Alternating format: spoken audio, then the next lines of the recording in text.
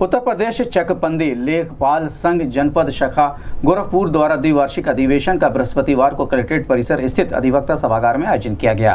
अधिवेशन का उद्घाटन मुख्य अतिथि उप संचालक चकबंदी गोरखपुर अवधेश सिंह द्वारा माँ सरस्वती के चित्र पर माले अर्पण करके किया गया। उद्घाटन के बाद अधिवेशन की अध्यक्षता चकबंदी कर्ता संघ के मंडल अध्यक्ष मानदेव सिंह ने किया तथा संचालन राजेश मिश्रा और संजय चतुर्वेदी ने किया।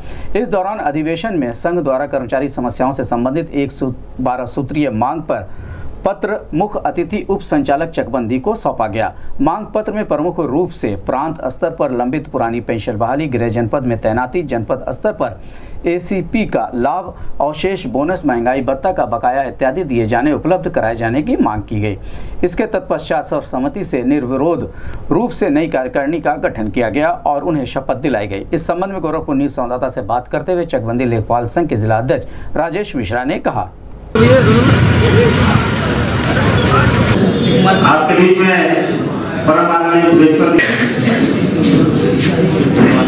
के साथ बैच मंगाया है तो मैं चाहूँगा कि नाम बोलता जाऊँगा और एक तरफ़ हमारे बैच लगाकर हमारे साथियों का स्वागत करेंगे।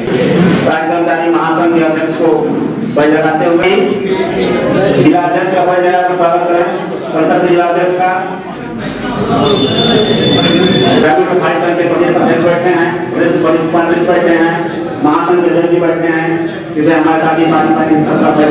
हम तो चकबंदी करता संघ के अध्यक्ष हैं राजेश मिश्रा, जिला अध्यक्ष हैं यहाँ पर। आज ये उत्तर प्रदेश चकबंदी लेखपाल संघ का द्विवार्षिक अधिवेशन है। तो इसमें आज हम लोग जो है अधिवेशन करेंगे और अपनी समस्याओं से संबंधित एक मांग पत्र है, बारह सूत्री, अपने एसोसिएट डी महोदय को देंगे।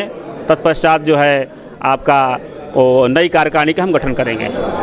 पिछले बार जो हमारा चुनाव हुआ था, उसमें कार्यकारिणी गठन नहीं हो पाया था। किसी कारण से आज हम नई कार्यकारिणी गठन करेंगे और ये भी हम आपको अवगत करा दें कि हमारी नई कार्यकारिणी निर्विरोध रूप से गठित हो चुकी है। जिसमें हमारे ऋषिकेश पांडे जी को अध्यक्ष चुना गया है। श्री कृष्ण मोहन पांडे जी मंत्री चुने गए हैं जनपद के।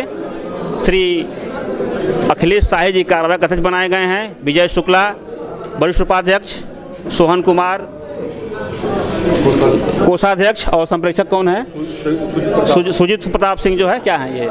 संयुक्त मंत्री बनाए गए ये सात सूत्री, ये जो आज चुनाव हुआ है, ये निर्विरोध रूप से हो चुका है। हम आज सब शपथ ग्रहण करेंगे यहाँ पर। ये हमारा आज का कार्यक्रम है। जी, ये चार बजे हमारा सब खत्म हो जाएगा।